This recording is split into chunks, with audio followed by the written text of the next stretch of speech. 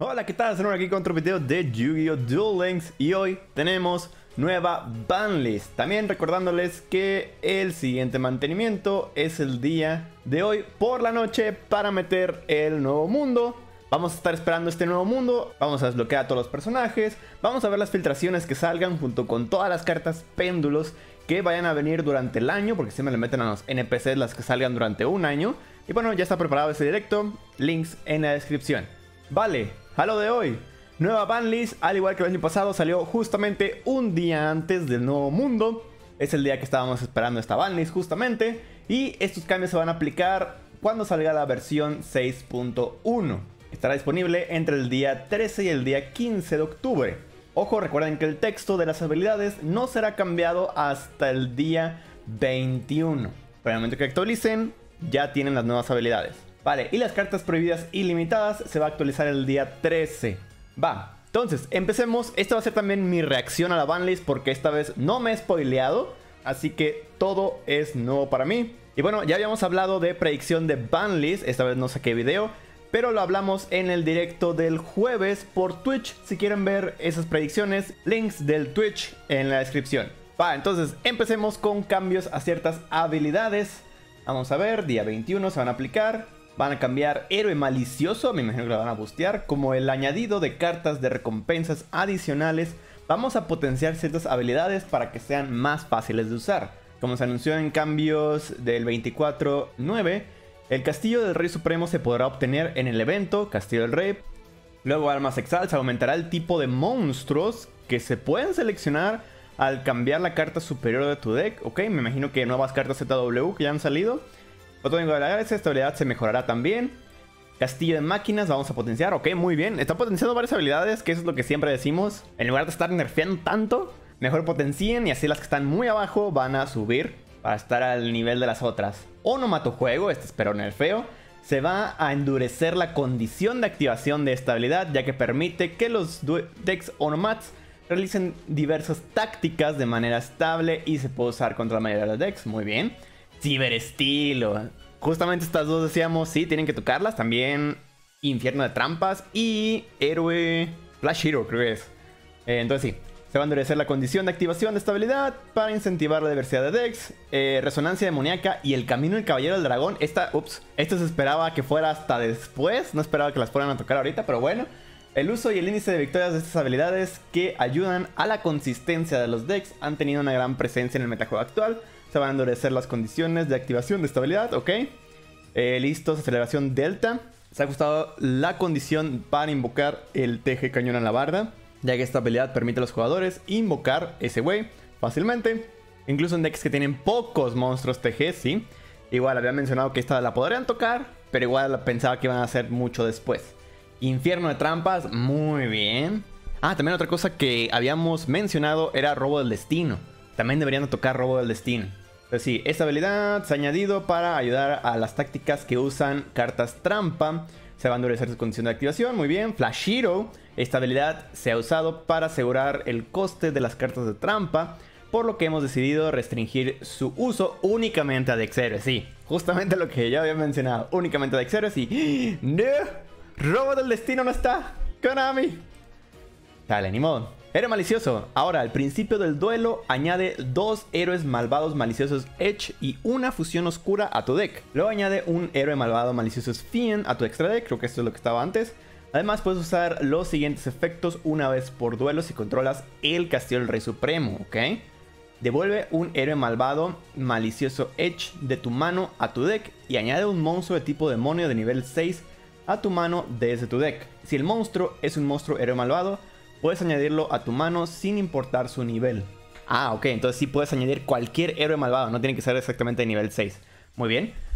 Y también puedes devolver a tu deck desde tu mano uno o más monstruos de tipo demonio cuyos niveles totales sumen 7 o más y añade un héroe malvado, Malicious Edge, a tu mano desde tu deck, ¿ok? Creo, que es la habilidad añadida.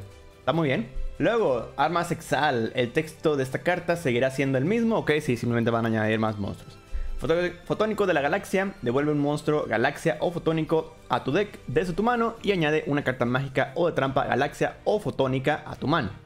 Esta habilidad solo se puede usar si empiezas el duelo con un deck que únicamente contenga monstruos de luz y monstruos número. Esta habilidad solo se puede usar una vez por duelo. Según yo estaba así, ¿no? No, me acuerdo exactamente cuál es el cambio. Eh, tal vez que es más genérico, que ya tu deck puede ser no nada más fotónicos. Pero bueno, maneras aquí te están diciendo que tienes que regresar a un fotónico, así que... ¿Ve? Pero bueno, Castillo de Máquinas devuelve un monstruo Meglor de tu mano al deck de su propietario y añade una fortaleza Meglor a tu mano desde fuera del deck. Esta habilidad solo se puede usar una vez por turno y dos veces por duelo. Yo también estaba así más o menos, entonces me... Bueno, juego. Se puede usar desde el turno 3 en adelante. Ok, ya, ya, no puede ser para el primer turno. Ya no puedes hacer al bouncer o hacer a la cucaracha desde turno 1. Y lo que hace es devolver un monstruo, eh, onomatopeya, desde la mano al deck y añadir un monstruo. Espera, sí, es un monstruo. Ya no es cualquier carta magia o trampa, o sea, cualquier carta pues en general, sino que es un monstruo por un monstruo ya. Entonces ya son dos restricciones, ok, muy bien. Esta habilidad solo se activará si empiezas el duelo con un deck que cumpla con las condiciones siguientes. Esta habilidad solo se puede usar una vez por duelo también. Es un tercer golpeo, solamente una vez por duelo. De hecho, estábamos diciendo también que esto podría ser lo único que peguen junto con una carta. Entonces ya son tres golpes a la habilidad con esto y aparte eso es un cuarto golpe. Tu deck contiene 12 o más monstruos Subaba Dodo, justamente lo que también habíamos dicho Necesitamos un mínimo. Y tu deck contiene dos o más monstruos Exit, Utopía y ningún monstruo de rango 5 o más que no sea un monstruo número o ZW. También es, esto es lo que los suscriptores del Twitch habían dicho, que nada más pudieron usar monstruos números, ¿ok? Nada más los de rango 5 mayor tienen que ser números. Entonces sí, es, una, es un super golpe como que agarraron todas las ideas de todo el mundo y fue de que, ok, voy a agarrar tu idea, voy a agarrar tu idea, voy a agarrar tu idea y vamos a juntarlas todas en una sola habilidad. Muy bien, ahora sí ya la verdad es nada más anime, más por lo de los monstruos, ¿eh? Estoy seguro que esto de los monstruos lo van a bajar porque sí siento que es demasiado 12 monstruos. Cuando lo habíamos mencionado habíamos dicho de que unos 8, el mínimo 8, que lo normal sería tener 10, pero bueno, esperemos que pronto le muevan otra vez, ya que ya el deck ya se deje usar. Eh, luego tenemos Cyber Estilo, vamos a ver.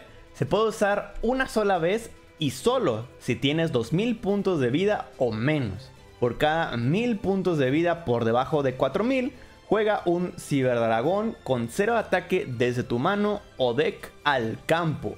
Oh. Ya no son los protos, ya es un ciberdragón desde mano deck. Ok, esto está bien porque te obliga a sí o sí tener el monstruo ciberdragón. Al original, pues. Entonces, generalmente el deck nada más jugaba uno solo. Ya con esto, oye, si quiero sacar dos, que es lo óptimo, tengo que tener mínimo dos en el deck. Así que muy bien, eso obligará a tener, yo creo que los tres van a usar. Y solo puedes invocar de modo especial el dragón ciberfinal hasta el final del próximo turno del adversario. El ciberdragón jugado con esta habilidad no se puede sacrificar y mientras esté boca arriba, en el campo no puedes invocar de modo especial excepto monstruos de fusión ni atacar excepto con monstruos de fusión. Ya, también lo mataron. Sí o sí, nada más puedes sacar el dragón ciber final, atacar con él y listo. Es lo único que puedes hacer. Chale, siento que la, la tocaron demasiado. Digo, obviamente ya es para que se deje de usar simplemente. Pero sí, vamos a ver si luego también la vuelven a mover. Para que puedan usar sus exit por lo menos. Vale, luego tenemos resonancia demoníaca se puede usar devolviendo un monstruo resonador desde tu mano a tu deck. Añade a tu mano un monstruo de nivel 4 o menor. Desde tu deck no puedes activar el efecto de la carta añadida por esta habilidad o de una carta con el mismo nombre durante ese turno. Ok, esto no ha cambiado, creo. Según yo antes era demonio nada más. Pero bueno, esta habilidad solo se activará si empiezas el duelo con un deck que cumpla con las siguientes condiciones. Esta habilidad solo se puede usar una vez por turno y dos veces por duelo. Ok, sigue siendo dos veces por duelo. Tu deck contiene 8 o más cartas resonador y únicamente contiene monstruos de tipo dragón y tipo demonio. Ok, ya con esto ya te restringe que sí o sí el monstruo que tengas que sacar sea dragón o demonio. ¿Vale? La condición de 8 o más cartas resonador, pues la carta mágica también cuenta como resonador, así que 3 buscadores, 3 carmesín y 2 del rojo, ya son 8 justamente los que usan. Entonces esto no hace ningún cambio. Y tu extra deck contiene el dragón rojo archidemonio y el dragón de nova roja y únicamente contiene monstruos de tipo dragón de oscuridad y monstruos de sincronía tipo demonio. Uh. Ok, esto último sí estaba antes. Entonces aquí siento que el deck va a quedar prácticamente igual. Nada más le van a añadir el dragón rojo archidemonio y el nova roja. Y también está matando eh, algunas formas de hacer el deck, como por ejemplo los que usan a Stratos y Plasma. Ya no podrán usar esas versiones simplemente. Eh, espero que le toquen aparte alguna cartita, me imagino que sí, para que no se juegue tanto y que no sea el deck número uno ahora. Digo, al final lo bueno es que queda un poco más anime gracias a estos dos monstruos. Luego, Camino el Caballero del Dragón se puede usar devolviendo un monstruo desde tu mano a tu deck. Espera, antes era nada más cualquier carta, ¿no? Si ahora nada más es un monstruo. Pon un Gaia galopante boca arriba en tu zona del campo desde tu deck. Después de usar esta habilidad, solo puedes invocar de modo especial los siguientes monstruos hasta el final del próximo turno. Esta habilidad solo se activará si empiezas el duelo con un deck que contenga 8 o más monstruos Gaia el Caballero Feroz o monstruos de tipo dragón de nivel 5. Ok, por esto no hay ningún problema porque son 3 y 3 de los que siempre usas. Además del otro Gaia, son 7 sí o sí. Y que siempre metes el dragón de luz y oscuridad. Entonces son 8 justamente. Y bueno, esta habilidad solo se puede usar una vez por duelo. Puedes convocar un monstruo de fusión que use monstruos Gaia como material, monstruos Gaia el Feroz Caballero, monstruo Soldado al Bello Negro o monstruo de tipo dragón de nivel 5. Entonces sí, prácticamente queda igual, lo único es eh, que tienes que sí o sí devolver un monstruo. Ya no puede ser cualquier carta. Y bueno, yo, yo creo que agregar esto estuvo bien por el hecho de que seguramente mientras lo tocaban el deck se iba a ir transformando a lo mismo de siempre, que es menos monstruos, más cartas staples, más cartas de magia y trampa. Así que perfecto, dijeron, ¿sabes qué? Ahorita que ya sabemos cómo se construye exactamente bien, vamos a dejar que sea así justamente y que ya no puedan reducirle más sus cartas. Va. Eh, listo, aceleración delta al principio del duelo, añade los monstruos que ya sabemos. Además puedes usar el siguiente efecto una vez por duelo si has invocado por sincronía dos o más monstruos de sincronía TG. Devuelve una carta TG de tu mano a tu deck y luego juega un TG libélula desde tu extra deck. Ok, simplemente agregaron lo de devolver eh, de tu mano al deck y no me acuerdo si las dos sincronías tenían que ser a huevo TG. Yo me imagino que no, me imagino que nada más tenías que hacer dos sincronías y listo. Luego invocabas a la libélula. Así que eh, está bien. Lo malo es que creo que ya el deck no nada usaba esta habilidad. O sea, algunos usaban esta, otros usaban control de vuelo. Claro, sí, la habilidad de preferencia era esta, porque podía sacar un monstruo de 4000. Era muy sencillo hacer eso. Pero sí, ya, ya con esto la habilidad se vuelve más hacia los TG simplemente. Lo malo es devolver una carta. Digo, y más porque ya usaste muchos recursos para hacer tus dos sincronías. Pero bueno. Eh, luego tenemos Infierno de Trampas. Se puede usar cuando tienes tres cartas de trampa en tu cementerio. Añade una carta de trampa al azar a tu mano desde tu cementerio y devuelve una carta a tu deck desde tu mano. Esta habilidad solo se puede usar una vez por duelo. Muy bien, ya no se regresan las demás cartas del cementerio al deck, que era lo principal, recuperar todos tus materiales, o sea, recuperar todo tu trampeío. Y aparte, tienes que devolver sí o sí una carta. Entonces, ya tus recursos siguen siendo los mismos. Va muy bien. Luego tenemos Flash Hero una vez cada dos turnos. Al principio de tu turno, añada a tu mano una de las siguientes cartas en el orden cada abajo desde fuera de tu deck. Esta habilidad solo se puede usar si empiezas el duelo con un deck que tenga 4 o más monstruos normales héroes con nombres distintos y que únicamente contenga monstruos héroe. El deck extra no cuenta y ya lo mismito que ya sabemos, Perfecto es justamente lo que habíamos dicho, que sea únicamente para monstruos héroes, así se quitan los Ritual Slips del deck. La habilidad la verdad es que podría seguir siendo usada así como se está usando ahorita, con muchas trampas y bla bla bla. Pero ya por lo menos te quitan una forma de estaleo, que son los Rituals. Podría decir Rituals. Vale, luego tenemos... Ah, ya está ahí. Va, muy bien, creo que las habilidades están perfectas. Me encantaría que siguieran bufeando las demás habilidades, pero bueno, poco a poco. Y también Please Konami, robo del destino. Va, vámonos a lo que son las cartas prohibidas y limitadas. Limitada a uno, llamada del artista amigo. What the fuck? Ni siquiera sé qué hace esta cosa. Vamos a limitar esta carta ya que provoca que el ritmo de los duelos sea muy lento cuando en el juego se introducen más cartas artista amigos, ¿ok? Eh, lo que hace es cuando un monstruo de adversario declara un ataque directo, selecciona ese monstruo atacante, niega el ataque y si lo haces añade a tu mano hasta dos monstruos artista amigo en tu deck cuyas defensas totales combinadas sean igual o menos que el ataque del monstruo seleccionado. Hasta el final de tu próximo turno, después de que esta carta se resuelva, no puedes invocar monstruos de modo especial desde el extra deck. Siento que ya la misma carta es muy restrictiva, pero bueno. Digo, lo chido es que es una negación más buscador. Es muy buena carta. Pero sí, no la siento tan wow. Entonces, me imagino que las cartas que vienen sí son muy buenas. Prepárense para tal vez un meta de artista amigos. Pero bueno. Luego, limitadas a 2, solo puedes incluir en tu deck dos cartas de estas limitadas. Fusión cibercargada. Los decks de dragón llevan mucho tiempo en el metajuego de una forma u otra, por lo que vamos a limitar esta carta. ¡Wow!